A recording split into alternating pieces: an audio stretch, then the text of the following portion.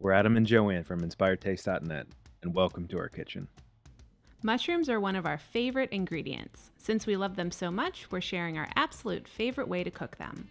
Start with cleaned mushrooms. Instead of submerging them in water, we use a damp paper towel to brush any dirt from the mushrooms, since the drier the mushrooms are when they hit the pan, the better they brown.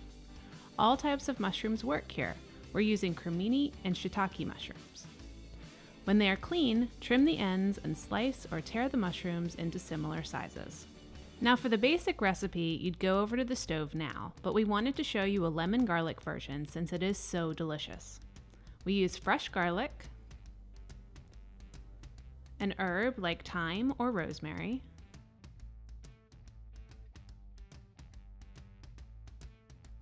fresh lemon zest,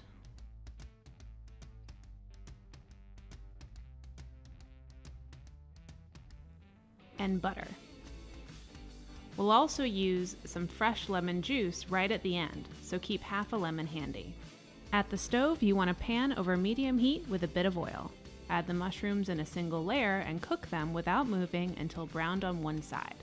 Stir, then cook another 3 to 5 minutes or until mostly golden brown on all sides.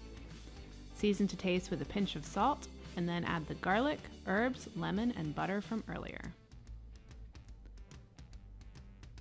Stir everything around the pan until the garlic is fragrant and the butter absorbs into the mushrooms.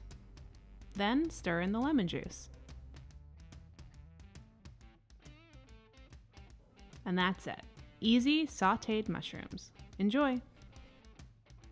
Thanks for watching. If you love this video, we have lots more. Make sure you subscribe to our YouTube channel and say hi on Facebook, Twitter, or Instagram. We're at Inspired Taste.